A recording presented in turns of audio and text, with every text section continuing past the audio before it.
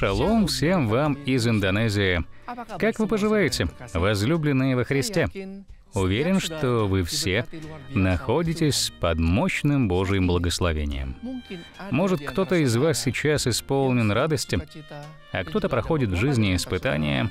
Я призываю вас ни о чем не тревожиться, но продолжать уповать на одного лишь Господа Иисуса.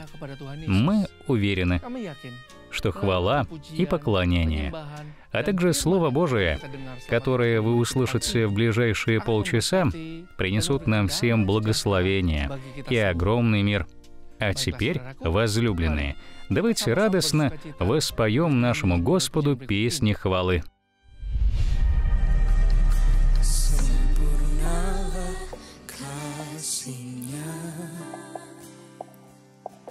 Setialah janjinya.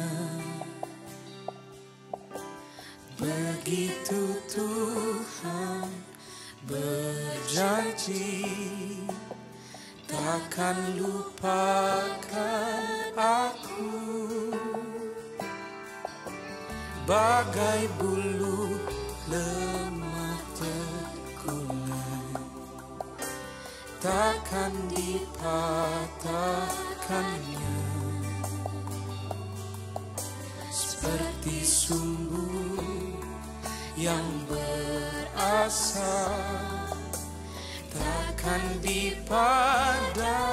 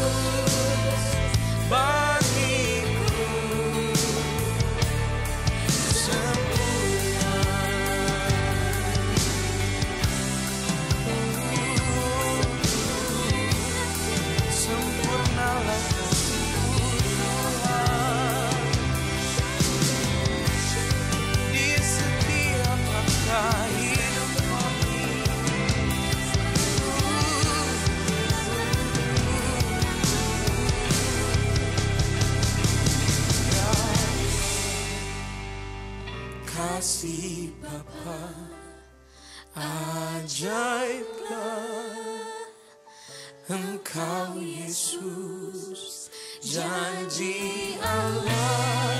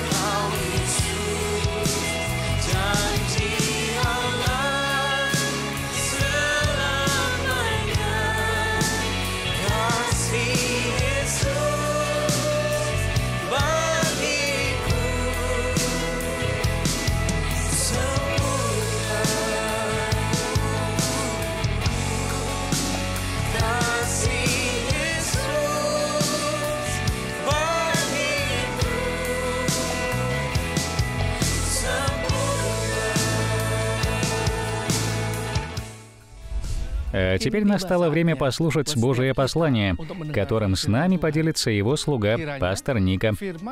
Пусть послание, которое мы услышим, ведет нас в повседневной жизни.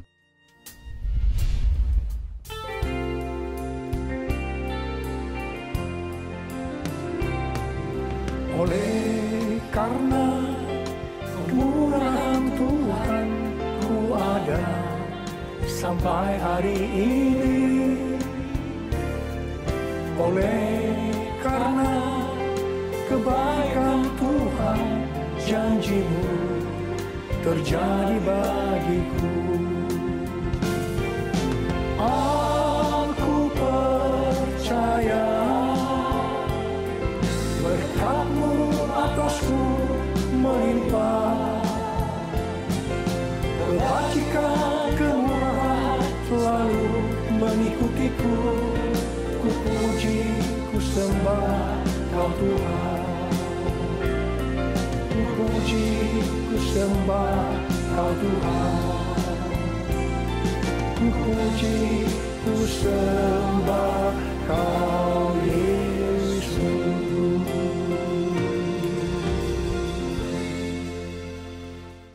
Мы должны помнить, что если мы существуем, как есть сегодня, то лишь по Божьей благодати. И с какими бы проблемами мы ни сталкивались, какие бы трудности не мешали нам, мы должны быть готовы сказать, мы знаем, что все содействует ко благу тем, кто любит Бога и кто призван по Его изволению. И с какими бы проблемами мы не сталкивались сейчас, сложными или не очень, все это превратит нас в лучшего человека. Поэтому если все это время мы считали COVID-19 чем-то пугающим, чем-то страшным, мы должны посмотреть на него с другой точки зрения. Пандемия этого ковида сделает нас лучше. У нас будут более близкие отношения с Господом Иисусом. Мы будем лучше знать Его. У нас будут более близкие отношения с нашей семьей. Мы сможем больше размышлять над собой. Мы станем терпеливее и так далее. Поэтому с какими бы проблемами мы ни сталкивались, давайте скажем вместе, «Боже, ты благой Бог, Ты действительно благ и очень благ ко мне. Я хочу пригласить всех вас, братья и сестры во Христе, поднять руки и сказать вместе со мною, «Боже, Ты благ, Ты действительно благ и очень добр ко мне». Положите руки на свою грудь, склоните голову и ощутите доброту Божью. Ощутите Его доброту. Ощутите доброту Божию. Боже, Ты видишь, как Твои дети кладут руки себе на грудь. Ты провозглашаешь свою благодать всем им, Боже. А в эти дни они прошли через множество проблем, Ты знаешь, Боже. Но сегодня Ты поможешь им. Ты исцелишь их. Чудеса будут происходить в их жизнях. Прикоснись к ним, Боже. Прикоснись ко всем своим детям. Боже, они нуждаются, нуждаются в Твоей помощи. Прикоснись к ним, пожалуйста, прикасайся. Спасибо, Авва, спасибо Тебе, Отче. Мы благодарим Тебя за Твою любовь. Спасибо, наш Господь. Аминь.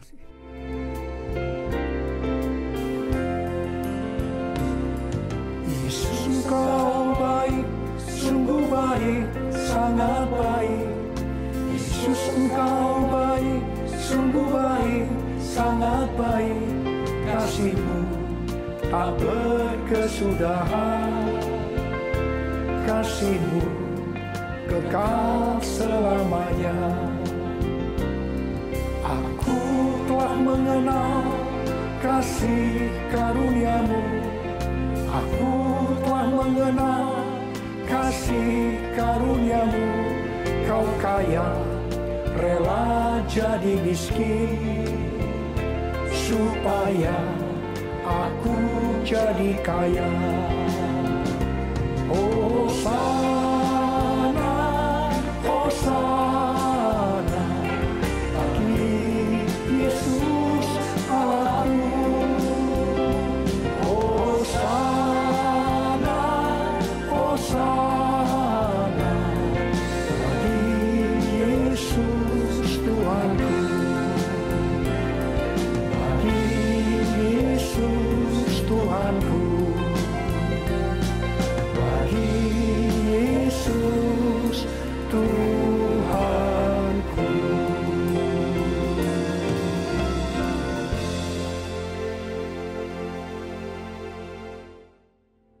Библия говорит, «Ибо вы знаете благодать Господа нашего Иисуса Христа, что Он, будучи богат, обнищал ради вас, дабы вы обогатились Его нищетою». Это второе послание Коринфянам, 8 глава, 9 стих.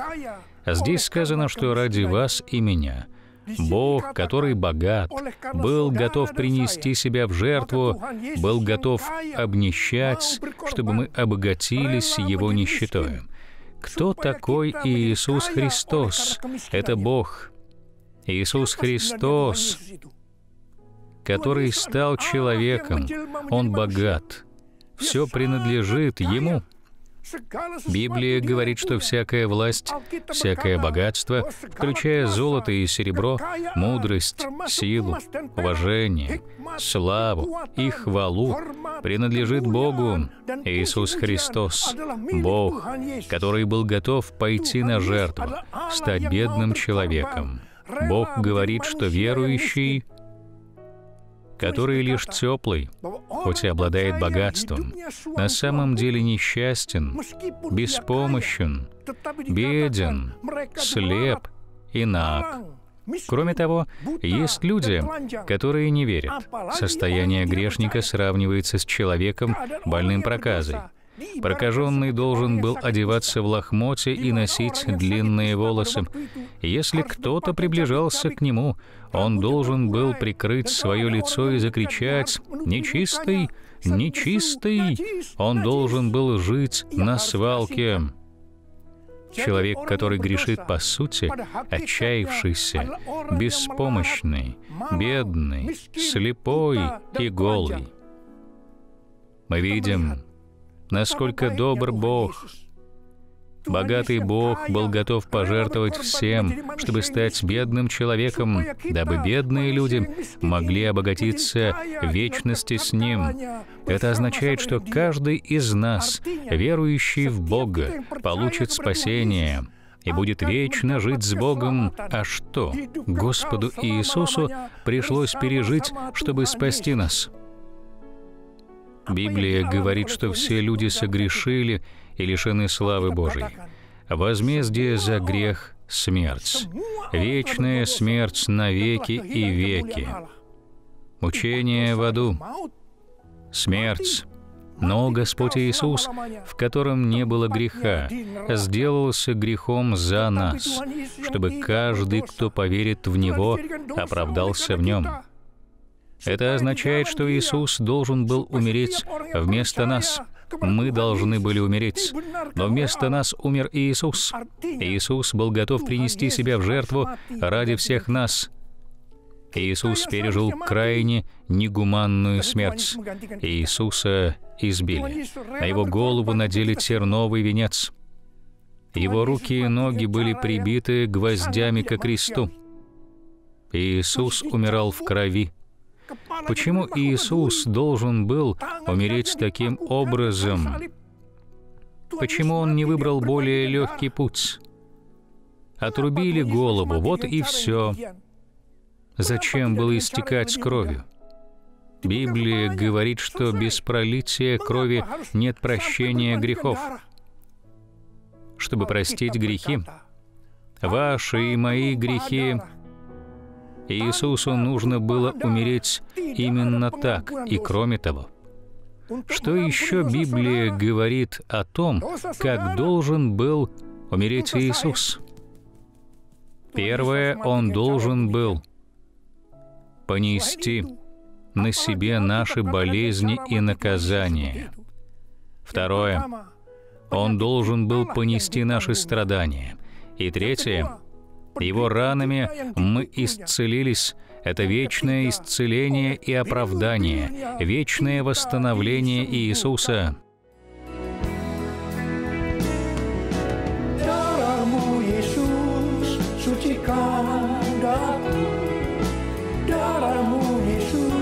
Bebaskanku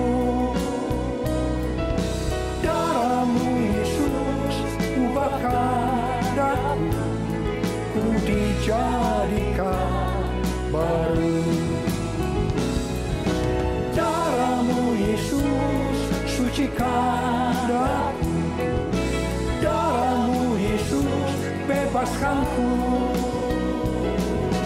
Darahmu Yesus ubahkan daku Ku dijadikan baru. Ku dijadikan baru. Ku dijadikan baru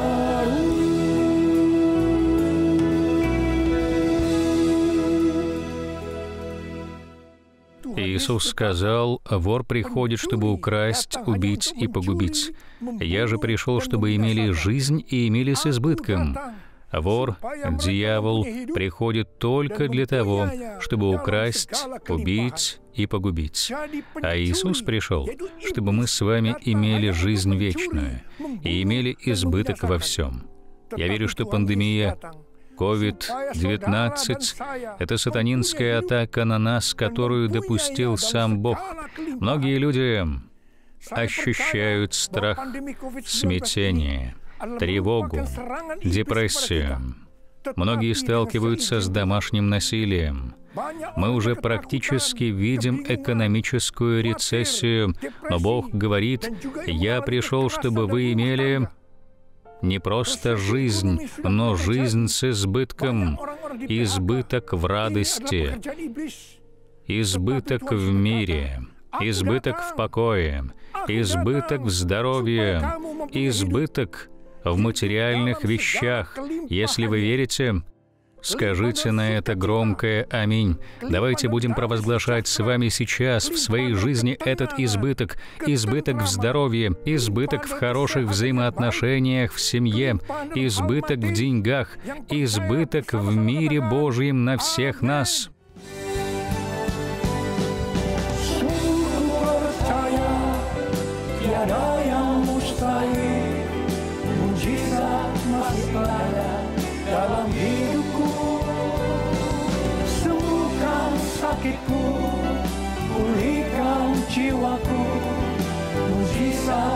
Mujizat masih ada bagiku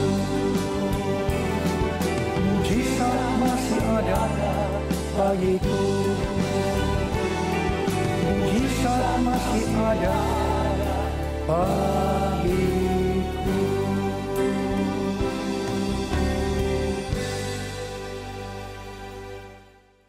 Я хочу помолиться за вас. Кто из вас сегодня нуждается в Божьем чуде?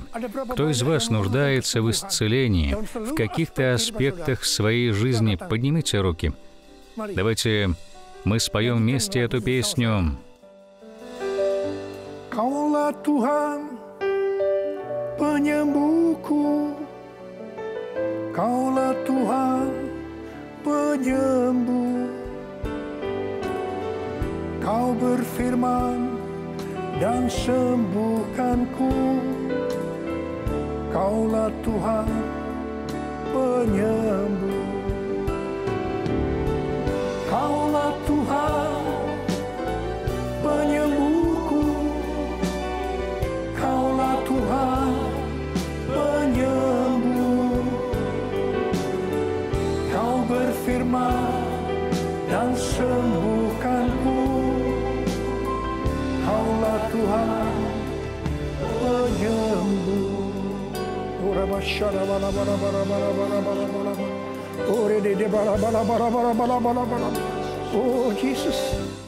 О Иисус, Ты видишь поднятые руки, они нуждаются в Твоей помощи, Боже, они больны. Боже, им нужно Твое чудо, и прямо сейчас они нуждаются. Твой слуга поднимает руки, чтобы они исцелились во имя Иисуса. Исцелились во имя Иисуса. Чудеса будут происходить в вашей жизни. Вы восстановлены во имя Иисуса Христа.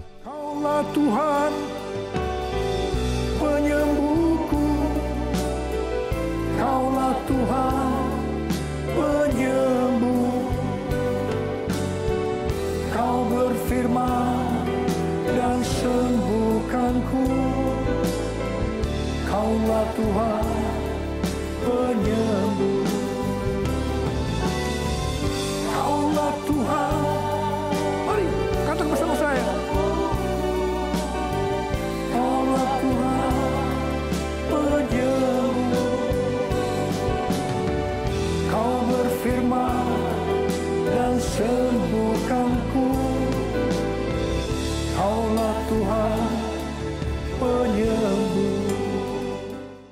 спасибо Тебе.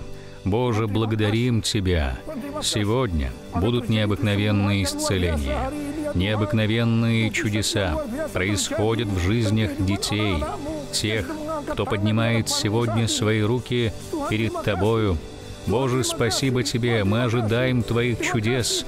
Спасибо Тебе во имя Иисуса. Мы вместе смотрели передачу «Время исцеления» на протяжении последних 37 минут. Мы надеемся, что, посмотрев эту передачу, каждый из вас получил благословение, которое принесет позитивные перемены в вашу жизнь. Я, Билли, спасибо вам большое. Пусть Господь Иисус благословит всех вас в избытке.